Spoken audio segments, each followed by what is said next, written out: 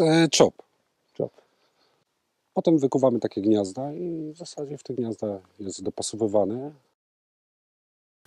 Wiadomo, że jest e, ciężko, belki nie są lekkie.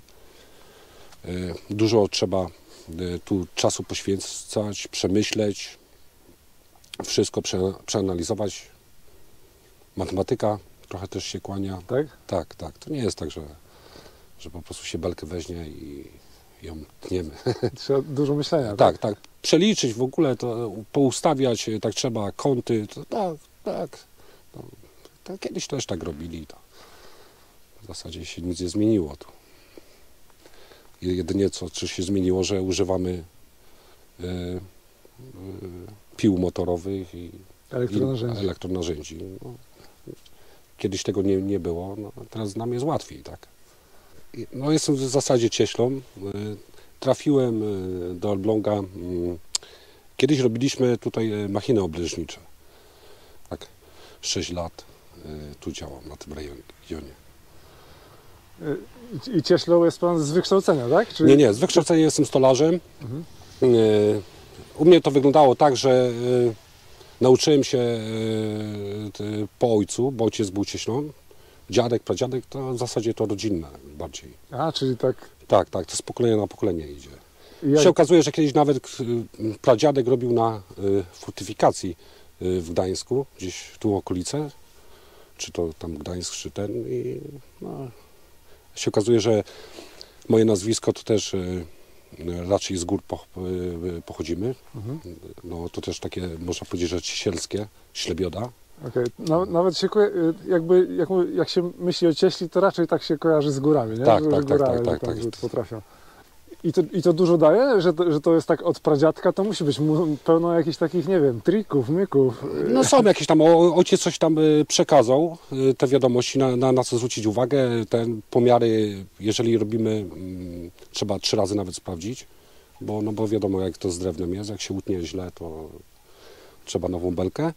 A i dalej pójdzie? Ma pan y, syna, czy żeby to dalej przekazać? y, E, tak, rodziny? syna mam, syna mam, ale jeszcze jest ma, mały, y, 12 lat, także Jeszcze, jeszcze się zobaczy, czy będzie tak, tak, kontynuował tak. tradycję. Na, na razie nie interesuje się, no, chociaż ja pamiętam, jak byłem młodszy, to też z ojcem jeździłem, ale nawet nie myślałem, że, że, że, że będę pracować w tym zawodzie. Po prostu tak życie ułożyło, że, że wyszło, że Ale to, do, to dobry pomysł, żeby po prostu zabierać syna, tak, Tak. sobie, niech, niech sobie popatrzy, tak, niech sobie tak, tam, tak, tak. bez ciśnienia, ale tak niech już sobie... No i, no i wi- wiadomo, może przez to, że, że, że, że rodzinnie to było, to, to, to mnie to e, trochę ciągnie do, do tego drewna, wyrabianie w tym drewie. E, lubię wyzwania nowe. Także, że tak tradycyjnie dachy robiąc, no to taka trochę nudą jest, powiewa, nie? A tu przy tym uczymy się zawsze czegoś nowego. O no, nowych dowiadujemy się e, za, zacięcia, które były kiedyś robione. Najciekawsze zlecenie, najciekawszą robotę, jaką pan miał? No, te machiny obleżnicze, bo one były z, y, w skali 1 do 1 zrobione i, i były strzelające. Czy- Czyli wszystkie działały, nie, nie były zblafowane. To było też takie. Czyli można było zdobyć Malbork tymi maszynami? Tak, tak, tak. Trebusz y, też był 16 metrów wysokości. Te wieże, które podjeżdżały, no także zestaw był, to była największa wystawa na świecie. W, w zasadzie przy tych wszystkich budynkach e, ró, ró, róż, tak, różnią się niektórymi wykonaniami e, z, zewnętrznymi e, o, ozdoby, ale zasada e, była wszędzie taka sama, jak jeżeli chodzi o ryglowe. To, to, jedynie coś, co się różni dzi- dzisiejsze, tak? Do, do domy e, w systemie kanadyjskim, e, które są e, na śruby skręcane, tak? Aha. Szybkim e, czasie można taki domek postawić. A jakby pan sobie budował to, to na śruby, czy na te? Nie, no, no wiadomo, że te, te, te, w ten sposób, tak. Źle, jak jest, jak jest y, żelazo w drewnie, to źle. Tak, no bo, bo że żelazo koroduje z tego względu, że ró- różnica temperatur, inaczej można powiedzieć, no metal ciągnie e, i wokół się dlatego rdza zbiera. Kondensacja, wilgoć. Tak, tak, i ono powoduje, ten. powoduje, i że jest przegnicie. Jak gdzieś tam gwoździe wyciągamy, i to naprawdę są duże ślady, że wokół po 2-3 cm owódka jest cała zgnita. Okej. Tak, że, że, że te śruby nie, nie, nie, nie są takie, jak komuś się wydaje, nie? Że, że, że po prostu to jest jakieś rozwiązanie. Nie? Jeżeli chodzi o czopy, y, y, czoba, śruba. Y, Gdy, gdy, gdy słup będzie się skręcał, to śrubę przerwie ją nawet, nie? A jeżeli chodzi o czop trzyma w tym gnieździe i dlatego tu, tu jest... Jest elastyczny bardziej. Tak, jest stabilna konstrukcja bardziej. Na, na, na śrubach ten, te domki wszystkie, to, to, to one latają w lewo, prawo. A tutaj jeżeli za, zadeblujemy, nie, nie ma takiej sytuacji. I, I dlatego te, te rozwiązania są o, o niebo lepsze. No, ale To ciekawe. po prostu rynek wymusił na tym, że, że ludzie wolą śruby i blachy. Szybciej, taniej I gorzej. i gorzej. Ja, jakby pan y, miał doradzić, jak wybrać dobrego cieśle, w sensie czym się kierować, to na co patrzeć? Y, Na, na to, co, co, co zrobił. No ale jak ktoś się nie Ale jak, no jak właśnie, ale hon, hon, są, są tacy, że, że po prostu nie, nie, nie mają siły wybicia i na pewno są do, dobrzy i gdzieś tam są i nigdzie tam ich ktoś nie, nie zauważył. No ale po prostu no, gdybym ja miał, e, najpierw bym dał coś mniejszego do zrobienia i wtedy można zweryfikować, A, to jest e, dobry o, przykładowo jak zacznę, zaczniemy coś robić. tak. Jakąś wiatę, jakieś coś, No, a, potem, przykładowo. a potem zobaczyć, czy... Tak, tak. Y, to takie pytanie, ma pan jakieś ulubione markę narzędzi? Y, albo taki, i takich ręcznych, i takich elektronarzędzi? Markę, no to bardziej to na ma, Makita. Fajnie mi się pracuje, na przykład to jest le, lekka piła. Ro, robiąc cały dzień, no to też jest ważne, niż, y, bo wiadomo.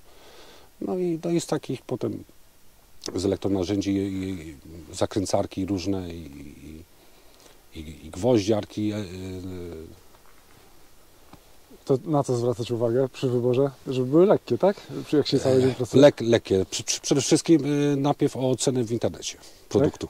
Tak, tak, bo, bo, bo, bo y, że, że dana marka na przykład przyduje w czymś, to nie znaczy, że wszystkie, wszystkie narzędzia z tej firmy są, są Dobre. do, dobrej ja- jakości, bo na przykład w, w jednej będzie do, dobra zakręcarka, w drugim trzeba Boscha z innej firmy wziąć, w trzecim trzeba piłę też z innej firmy wziąć. Tak nie ma, nie ma czegoś takiego, że jedna firma produkuje, ma wszystkie wyroby na wysokim poziomie.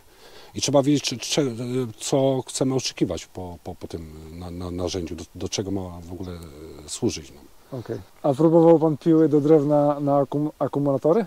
Nie, a na akumulatory jeszcze, jeszcze nie. Mam dużo na akumulatory, właśnie gwoździarkę i inne rzeczy, ale właśnie jeszcze piły, piły nie, nie, nie mam. Bo jakoś mm, i nie wiem, jak, jak ona by na tych bateriach dłu- długo by Działa. e, działała, no skoro ja robię cały dzień, tak? Tak, tak. Dzień, dzień przy dniu. A podejrzewam, że te akumulatory e, da, daleko No, no, nie uciągły. trochę, tak, tak.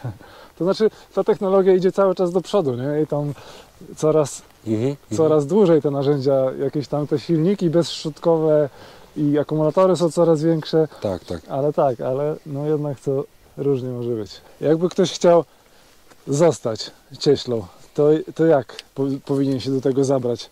Do jakiejś szkoły, do technikum, czy, czy znaleźć sobie jakiegoś, nie wiem, mistrza? Jak to, jak to No się... prze, przede wszystkim szkoła tak, jak, jak, jak najbardziej, a po, potem poszukać, próbować w ogóle dostać się do, do takiej o, o osoby, która, która, która tam ro, robi to, praktycznie nauczyć, tak, no bo teoria, praktyka, no to też są dwie różne rzeczy. Tak.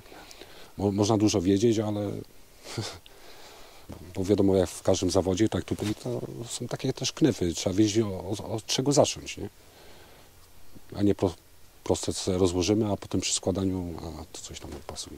A Jakby do Pana chciał się jakiś uczeń zgłosić, to by go Pan przyjął? E, Bardzo chętnie bym przyjął, je- jeżeli e, by, by był chciał e, w ogóle w tym zawodzie pracować.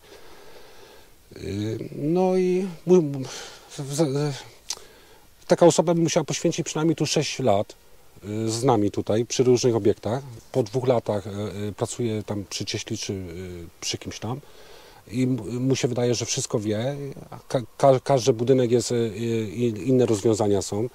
Y, Trzeba dużo y, krzywizny budynków sko skorektować i, i, i tak dalej. Nie? Czyli trzeba poświęcić jednak Y, 5-6 tak. lat na naukę, żeby Przynajmniej 5-6 lat y, żeby coś i na różnych obiektach nie, nie tylko jedno to samo robić, czy tam altanki w ten sam sposób, czy dachy jakieś tam proste, bardziej skomplikowane, mniej skomplikowane i ta wiedza później pozwala takiej o, o, o, o, osobie już wdrożyć się w ten zawód. No i wiadomo, że nawet po 6 latach i tak nie będzie wszystkiego wiedział, ale będzie na przykład y, z każdej jego y, następną pracę już y, brał y, y, ju- już y, te wszystkie błędy, które wcześniej popełnił, będzie Już. próbował ju- już zwracać na to uwagę, że, żeby tego nie robić i tak To- po prostu. To pan by, No. przyjąłby pan jak? Ka każdego zdolnego manualnie, czy musi mieć jeszcze jakieś doświadczenie wcześniej w drewnie? Niekoniecznie doświadczenie, bo, bo jeżeli ktoś będzie miał, no można każdego wszystkiego nauczyć. No to tak mnie ojciec uczył to tak samo można nauczyć takiego mł- młodego człowieka, czy tam ktoś, jeżeli będzie chciał. No i na początku wiadomo, takie prościejsze prace. Potem wpuszczamy daną osobę już, co, co widzimy, że już jest przygotowany, to na, na jakieś trudniejsze za, zadania. Je- Jeżeli nawet się ktoś tu pojawia, to tak, no, tak naprawdę ktoś potem widzi, jaka jest ciężka praca. I, Bo jest ciężka praca. Bo jest ciężka praca, tak. Nie, nie jest lekko. No, bo belki nie, nie są lekkie, tak. Trzeba to przenieść, potem ten. Czasami parę razy trzeba belkę wkładać, wyciągać. No, W zimę pan też pracuje? Jak, jak tak, no tak, tak? tak. Tak? Tak. tak, tak? No wiadomo, jak tam przyjdzie więcej, tam minus 20 albo ten, no to, to, to raczej nie. No, nieraz są takie rzeczy, co w środku się robi. Tam schody można, ostatnio robiłem jak przy takich większych mrozach i takie. Bo stolarskie też takie dumne rzeczy, coś tam próbuję, e, to znaczy próbuję, robię. Y, Czy jest dużo cieśli? Czy jest jakby stała ilość cieśli, czy się zmniejsza? Czy jest to ginący zawód, czy to jest to... Jak to nie, jest? no to, to w zasadzie tak, no bo y, cieśli można powiedzieć, że jest dużo, ale jakich cieśli? To, to, to już bardziej e, umiejętności tych cieśli to, to jest prostota. No, nie, nie. I Jeżeli, taki osoba wyuczyła się, albo go tam nie, e, u kogoś, kto robił na, na proste zacięcia blachę stosował, no to, to, to, to, to, to, to, to nie, nie myśli o tym, że, że, że, że coś można na trzopy zrobić, na kołki drewniane, Tak jak kiedyś. tak kiedyś, tak. Czyli taki, takich jest coraz mniej. Tak, coraz mniej. Coraz mniej, no bo też lu- młodzi ludzie e, tak nie, niechętnie chcą się tego zawodu uczyć. Elbląg się panu podoba? Elbląg? Tak. Okolice w ogóle mi się podobają. Jest tu, można powiedzieć, że taki cisza. Ja co mieszkam, to mieszkam przy głównej trasie i dlatego jak tu jestem, no to Spokój. spokój.